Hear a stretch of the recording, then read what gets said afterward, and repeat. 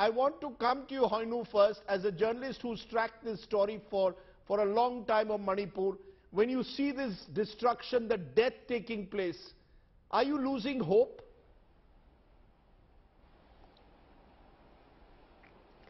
Uh, uh, Rajdeep, thank you first of all for having me. Hope, of course, if we don't have hope, we wouldn't be here at all. But when I look at it, I don't think in all the years that I've seen the violence all through my years of, you know, growing up and seeing the violence, I don't think I've never seen a magnitude, uh, you know, a, a violent of this magnitude. So it is a little difficult to say that we have uh, I mean, there is definitely hope, but it's difficult to understand how long is it going to take for people to bounce back.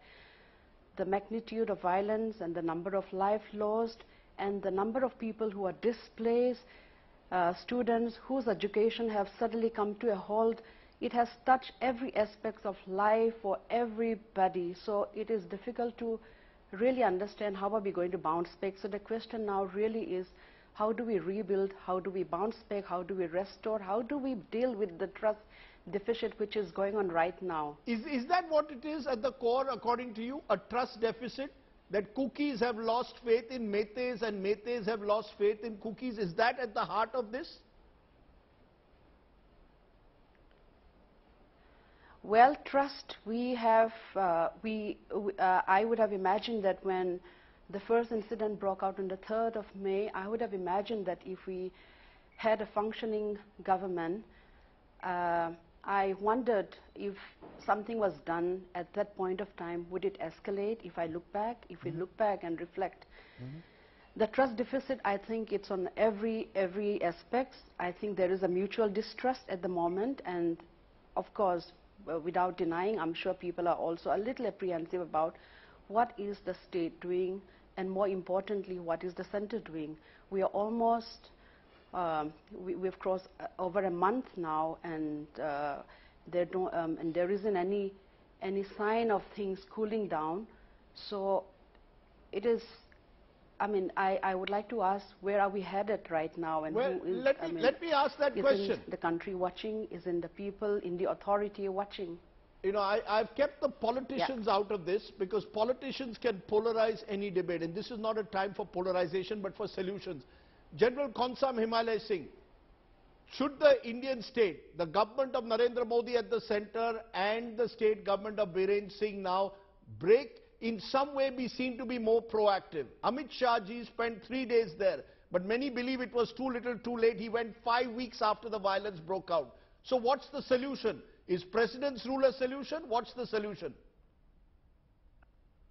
Thank you very much um, uh, for the invitation. Uh, Rajdeep, the first thing I would like to say is that the solution is a very, very uh, distant kind of a dream right now. Mm -hmm. uh, we have to think about the short and the long-term solutions. Mm -hmm.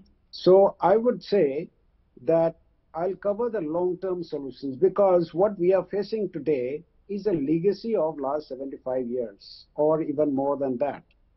And there have been a continuous, I mean, faulty uh, narratives, faulty uh, laws, and uh, also very uh, significant uh, divide amongst the people, particularly in Manipur and, and in Northeast India in general. No, but sir, can I stop you for a moment to say that 18 months ago when elections were held or 12 months ago, the situation was peaceful. It appeared even Armed Forces Special Powers Act was being lifted from Manipur. There was hope. What has suddenly changed in the last 12 months? Okay, that's a very interesting question.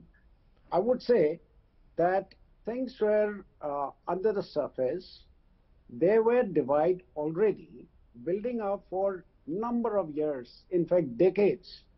And what has actually uh, happened in the last uh, 40, 40 days or so is a result of um, sudden uh, activities and also people talk about, you know, various issues like, you know, uh, uh, tribe demand, then you know uh, these illegal immigrants and all that. These are actually i think they are not the real reason. They might have been uh, so what's the real reason? What according to you is the real reason I mean, people are talking about, you know, Hindu, Christian. No, nothing. It has nothing to do with, religion.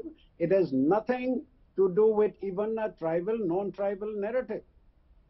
What I would say, it is about, uh, the reason is the, uh, the legacy of the past, as I said, which have, we have, I, I, I will blame most of the governance issue and also various laws and various customary laws which are at uh, odds with the uh, you know uh, Indian constitution or even uh, with uh, with the uh, with the traditional laws of various cultures mm -hmm. of the mm-hmm. people there we have 36 communities or 36 tribes there so the the biggest the mm -hmm. biggest problem i see there is because of the uh, the situation there that we have got a porous border.